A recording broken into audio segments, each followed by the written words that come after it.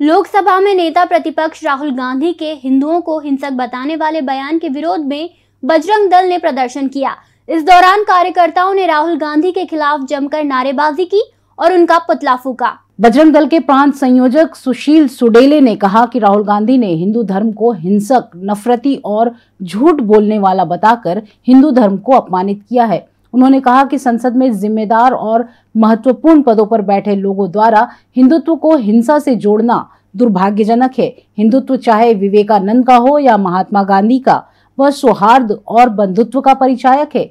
हिंदुत्व के बारे में ऐसी प्रतिक्रिया ठीक नहीं है। सुशील सुडेले ने कहा कि राहुल गांधी को अपने इस बयान के लिए हिंदुओं से माफ़ी मांगनी चाहिए। इस देश के अंदर माफ़ी नहीं मांगेंगे। यह कांग्रेस की घृणित मानसिकता है। जिसको आज उजागर जहाँ भी राहुल राहुल गांधी ने करा है उनके मन में जो था उनके दिल में जो था आज वो जवान पर भी आ गया है।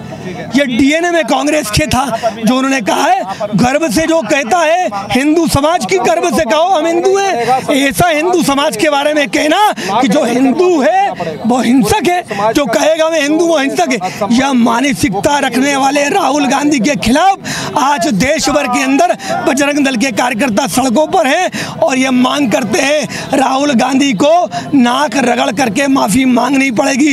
इस हिंदू समाज से यह बहुसंख्यक हिंदू समाज का देश है। इस देश के अंदर वोट हिंदुओं से मांगते हो गाली भी हिंदुओं को देते हो। ये अब चलने वाला नहीं है।